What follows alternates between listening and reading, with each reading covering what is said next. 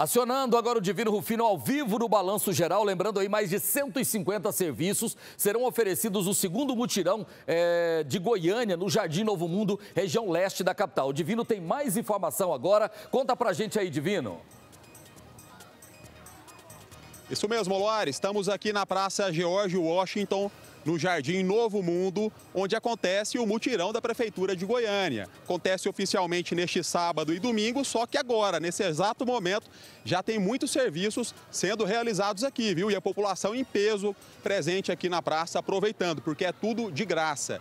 Tem orientação jurídica, tem serviço de educação, cinemóvel, PROCON e, claro, muitos serviços de saúde. Estamos aqui com o secretário do município de saúde, o Wilson Polara, que vai trazer mais informações para a gente. Secretário, boa tarde. O pessoal de casa já está vendo aqui atrás de você a carreta do risco cardiovascular. Explica para o pessoal que carreta é essa, qual é a importância dela, o que, que vai ser feito lá dentro.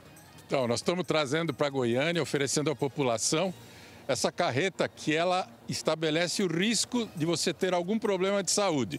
Mesmo que você não sinta nada, se você vier, nós vamos fazer toda a avaliação, é feito pressão arterial, pulso, saturação, Uh, são feitas várias perguntas e ao final você tem exatamente qual é o seu risco de saúde. Então, mesmo antes de sentir algum sintoma, nós vamos estabelecer que você pode sim ser encaminhado depois daqui a uma consulta com um especialista.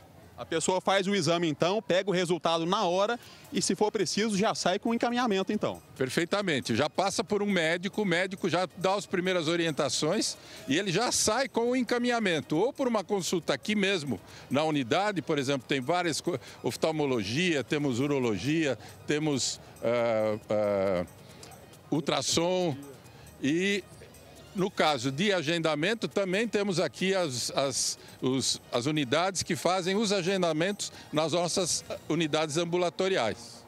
E o atendimento aqui é espontâneo? É só chegar e entrar na fila ou tem que pegar senha? Como é que funciona? Isso é que é ótimo, gente. Não precisa pegar senha, demanda espontânea. Todos os serviços têm metade com agendamento, mas metade de todas as consultas são de demanda espontânea. Nós não vamos exigir nenhum tipo de agendamento prévio, principalmente aqui.